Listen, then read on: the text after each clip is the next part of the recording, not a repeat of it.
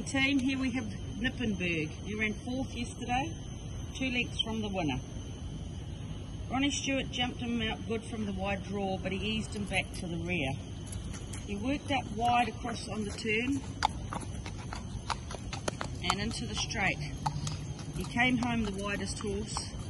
I'm sorry he didn't win, but I thought it was the run of the race. I'm really looking forward to his next up run on the second leg, which is in three weeks' time in the Group 2 three-year-old classic over 1400 metres on the long course B. He ate up last night and he has trotted up sound this morning. As you can see, he's nice and bright in himself. He doesn't want to stand around to be videoed. He wants to get moving. He's had a shower and I just can't emphasise again how I thought it was the biggest run of the whole three in the race yesterday. That's Knippenberg.